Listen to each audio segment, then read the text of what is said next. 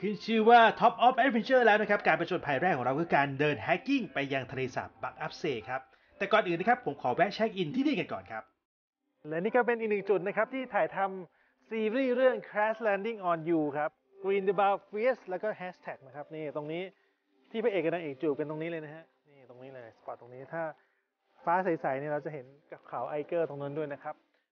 และที่เราจะเดินไปครับก็คือนี่ครับทะเลสาบบักอัพเซนะครับแต่อากาศแบบนี้ไม่แน่ใจว่าเดินได้หรือเปล่านะเดี๋ยวเราเดินลงขึ้นไปก่อนนะฮะเขาบอกว่าตรงนี้นี่จุดวัดใจครับประมาณ 300 เมตร ถ้าคุณผ่านไปตรงนี้ไปได้ คุณไปถึงแน่นอนเดินกันครับไป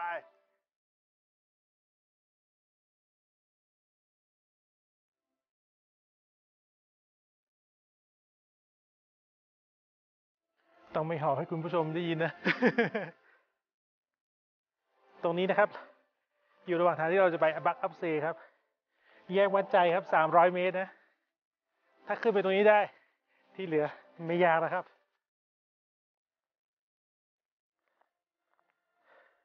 ใครมาก็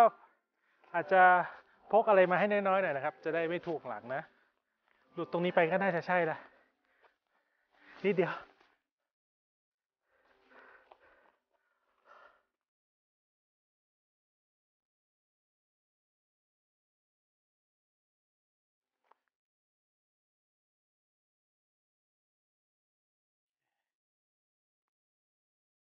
ทำไมคุณผู้ชมเห็นผมถอดเสื้อไหมฮะ เขาบอกยิ่งสูงยิ่งหนาวนี่ยิ่งสูงยิ่งร้อนครับ เหงื่อเต็มหลังเลยนะ ตอนนี้เราจะใกล้จะถึงจุดวัดใจแล้วว่าเราจะไปต่อหรือไม่ไปต่อหรือว่าเหตุผลที่ไม่ไปต่อคืออะไรนะครับ คืออาจจะเดินไม่ไหวหรือเปล่าไม่ใช่นะฮะ มากับเราเนี่ยไปสุดๆอยู่แล้ว แต่ว่าถ้าจะไม่ไปต่อเพราะว่าไปแล้วอาจจะไม่สวยอะไรเงี้ยครับ เหตุผลมีอยู่แค่นี้แหละ เดี๋ยวเราไปดูจุดจุดพักท่องเที่ยวตรงนั้นครับ ว่าเราจะไปต่อกันดีไหม แต่ผมอยากไปต่อนะผมผมเคยไปรอบนึงแล้วสวยมากๆเลย The lake right right now the view is okay or not I have no idea. Yeah, I would say 50 50 50. 50 It can be nothing or it can open, but uh, Oh. I don't know. we have time Yeah, we have time. โอเคไป ถ้าคุณผู้ชมนะครับเดินมาถึงตรงนี้แล้วนะครับ อันนี้ประมาณ 300 เมตรนะครับจาก Grace Keep Walk เมื่อกี้นะครับ คุณตัดสินใจเอาเองนะว่าไปต่อไม่ไปต่อนะครับ เห็นไหมฮะ เราต้องเดินตรงนี้ครับ อ้อมเขาลูกนี้ไปไปเราลองกันดูแล้วกันนะ ไปลุ้นพร้อมกันครับว่าเราจะเจอ Bachalpsee เปล่านะ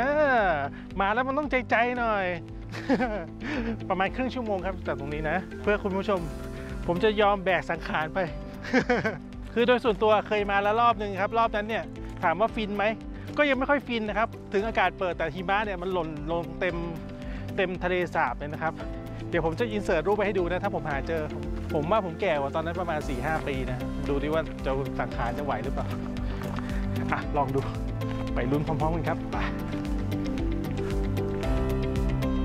ทางเดินเทรลในการไปที่ทะเลสาบบักอัพเซนะครับจริงๆแล้วเนี่ยไม่ได้ยากเลยครับคุณผู้ชมครับ แค่ยากแค่ 300 เมตรแรกนะครับ ที่มันจะชันๆหน่อยนะ หลังจากนั้นเดินสบายแบบชิวๆกันเลยครับ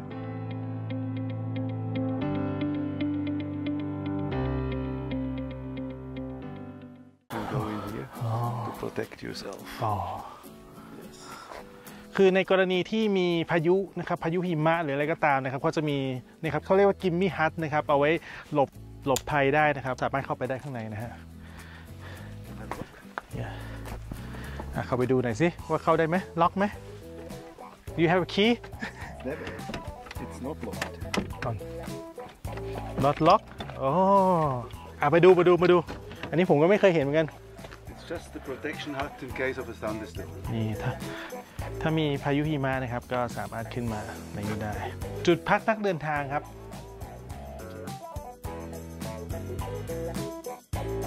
แต่คุณผู้ชมตามมานะ ตามมานะ มาดูมาดูนะครับโค้งหลุดโค้งนี้คุณจะเห็นทางนะครับ แล้วก็ โอ้แม่เจ้า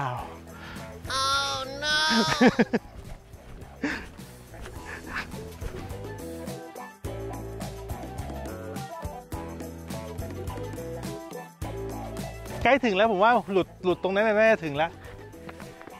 นะครับ เพราะว่าดูมันไม่มีทางให้ไปแล้ว เฮ้ย สวยสวย เด็ด yeah You see the little saddle? yeah That's where it goes towards uh, Jimmy the Plug. oh this way Yes, that's that one up. That's one more out. they walk and and and down by by the train right Yeah, yeah. ถ้าไม่มาเสียใจแย่เลยนะฮะ ถึงแล้วครับ ทะเลสาบบักอัพเซ สวยมากนะครับคุณผู้ชมครับ แต่มุมที่สวยเราต้องเดินอ้อมไปตรงนู้นนะครับ เพื่อถ่ายมาแล้วเห็นแบบภูเขานะครับ อย่างนี้นะฮะเดี๋ยวเราจะมาตั้งไทม์แลปส์กันนะครับว่า จะสวยแค่ไหนเราจะเห็นเมฆออกไปหมดเลยไหมเห็นภูเขาด้านหลังไหมเดี๋ยวไปดูกันไปลุ้นกัน แต่คุ้มฮะเดินมาประมาณเกือบชั่วโมงเนาะเกือบชั่วโมงก็ถึงแล้ว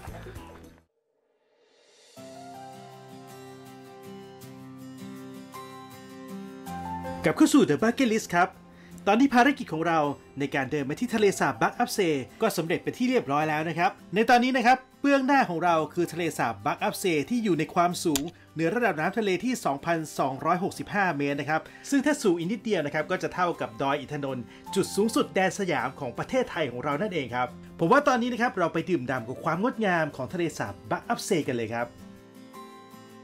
และในที่สุดนะครับความพยายามอยู่ที่ไหนความสำเร็จก็อยู่ที่นั่นนะครับ นี่เราก็มาถึงแล้วนะครับทะเลสาบ Bachalpsee ครับถ้าอากาศดีๆเนี่ยเราจะเห็นยอดเขาสวยงามมากๆเลยนะ เป็นแบบเขาแหลมๆสะท้อนน้ำนะครับ แต่อันนี้ก็ถือว่าเกินความคาดหมายครับเพราะว่าก่อนที่เราจะเดินมาเนี่ย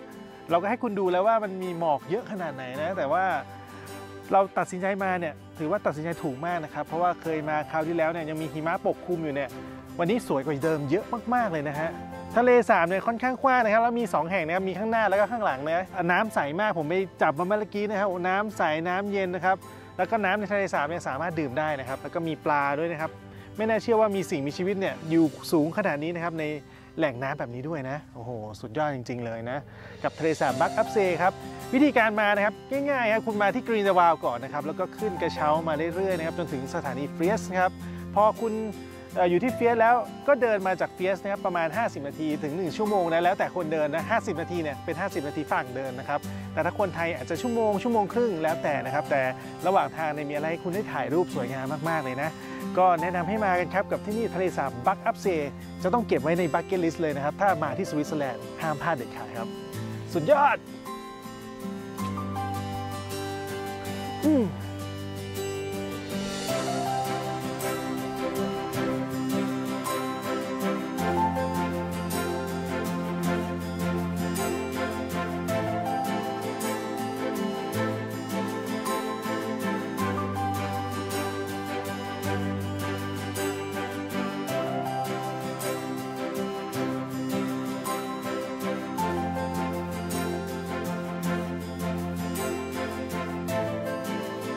บางคนก็เอาหมามาจูงมาเดินนะครับ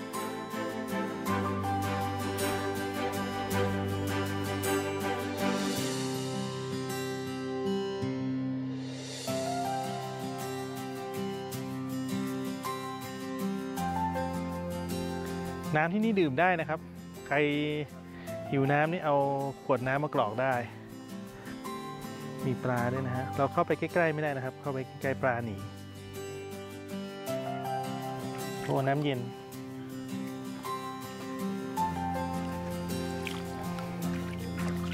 น้ำเย็นครับแอมสงสัยแร่ธาตุเต็มไปหมดเลย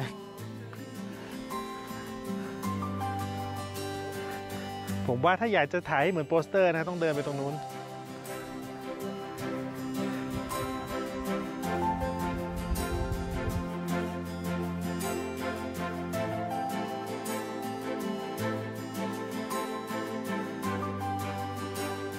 คนเรานะครับก็ต้องมีความหวังครับ ผมก็รอแล้วรออีกนะครับว่าฟ้าจะเปิดไหมนะครับ ผมอยู่ที่นี่นะครับเกือบ 2 ชั่วโมงครับคุณผู้ชมครับ แต่ฟ้าก็ไม่เปิดครับ ที่ไม่เปิดนะครับอาจจะอยากให้ผมมาที่นี่อีกรอบก็เป็นได้ครับ ถ้ามีโอกาสต้องกลับมาอีกแน่นอนนะครับ แล้วเจอกันใหม่นะ ทะเลสาบบักอัพเซ